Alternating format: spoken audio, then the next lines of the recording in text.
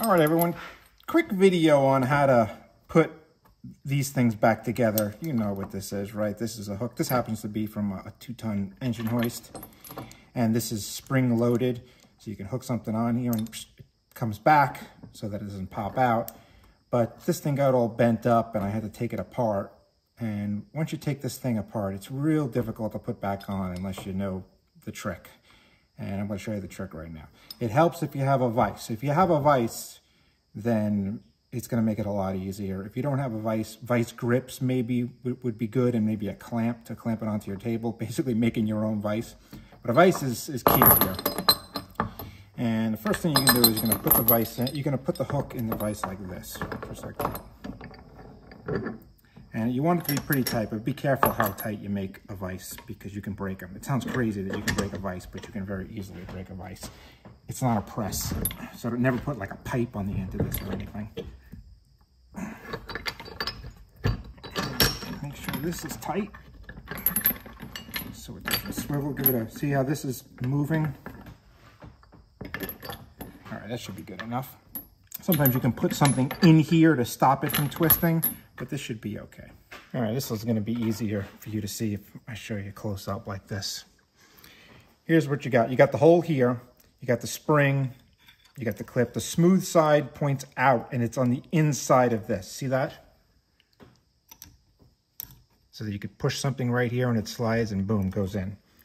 This clip right angle is like that. And the holes line up. Now, I use this. This is a barbecue skewer. Now you can use anything long, thin, and definitely metal. You want it long because it's easier to work with. You're gonna put it in just like that. See that? You come in, you push this down, right, this piece here. And now what you have is, you have it lined up. You can grab it from underneath just like that. Put your thumb in. And now you have it lined up right with this hole. And you're going to put a lot of pressure on it because you're going to pull this skewer out.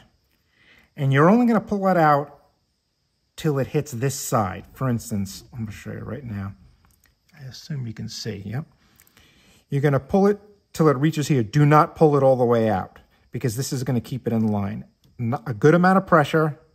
See, my thing's already twisting. And then you're going to immediately put it back in. Oop, I missed the spring. See that? There it is. Nice and long. You see how that helped? I was able to catch it and then boop, give it some leverage and push it back. Now, I have this thing in. It's in there good. Give it a squeeze. See this? That's another thing you can do. You can squeeze it with a pair of pliers. And now you can see that that um, it's to, it works. See that? Let's get a pair of pliers and squeeze this up good. All right, so this is the pin that came with it. And I just punched it out, right, with a little hammer and a punch. It came out easy, but usually the way they, they do these is that they put it in and then they mushroom the end so it doesn't come out easy. And, uh, you know, just on its own, you have to hit it with a punch. I took that mushroom off with a grinder. Now, I'm not sure if this is going to work. We'll see. I'm going to put it through. You really got to have this thing squeezed up nice. Yeah, that's much better. And then the spring is tight. So we're going to try and pull this out. This is, this, um, I'm pulling this with my right hand. I really should be pulling it with my left hand. So think about what, what hand you use normally. That's the one you want to push this pin in. It'll be a little bit easier. But I, you see how I have it lined up? The skewer works real good because it's a point. Now, if it's not aligned, don't go any further.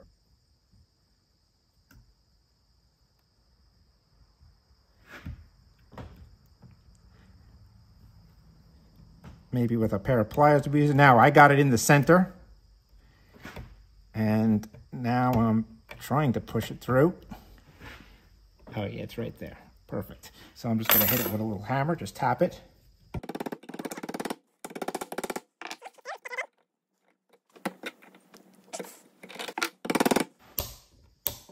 Okay, now the next thing is, is that this could slip out very, very easily. So what you do is undo this vice. I did that too tight.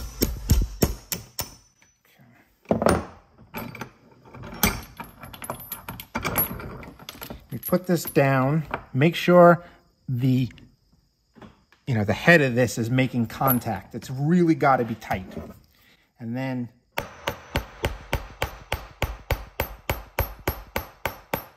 this metal is pretty soft. So what you're going to do is you're going to mushroom it with the hammer or even a mallet. Make it a mallet. And that's it. You can see now that it's working perfect. Almost better than new, to be honest with you, I think. I really have this thing squeezed tight, which is what you want.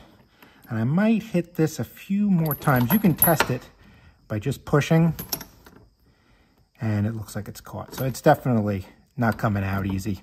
Now, you could get this out by hitting with a punch because what will happen is, is that when you hit this with a punch, you're going to enlarge this. Because remember, when you when you hit this, it, it's actually two curves to a mushroom.